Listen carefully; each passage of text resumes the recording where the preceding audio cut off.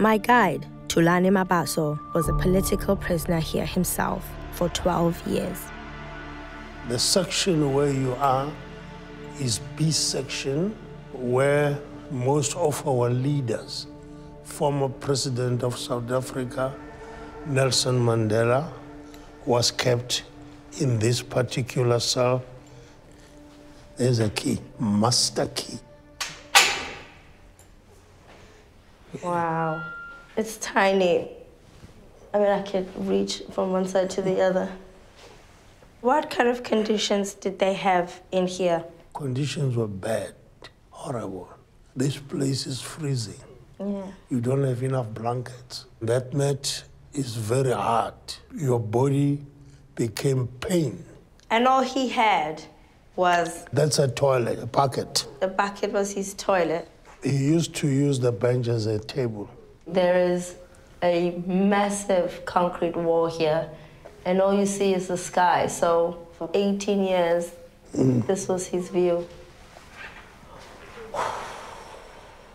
And how was the relationship between the prison guards and Mandela or the political leaders that were here? All our guards were racist. All the guards were white. Their mission was to oppress everyone.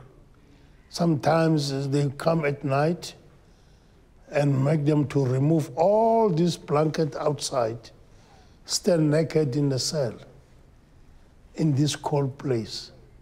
Discrimination in this country was horrible, undermining you, pushing you down.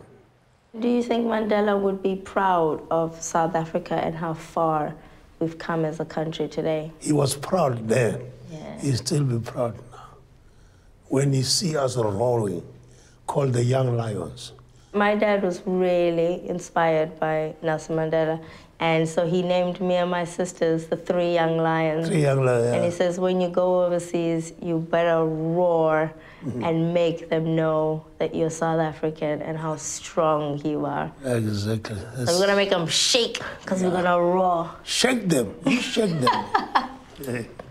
I mean, thank you so much for this. This is a big part of history, the sacrifice that you made for our freedom, for people especially like me who are born free.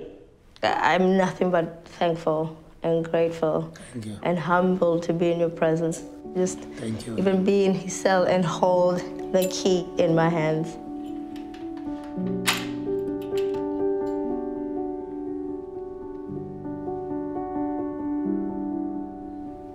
This place makes me really, really, really angry because people were imprisoned and, and tortured and treated terribly and abused and disrespected and disregarded.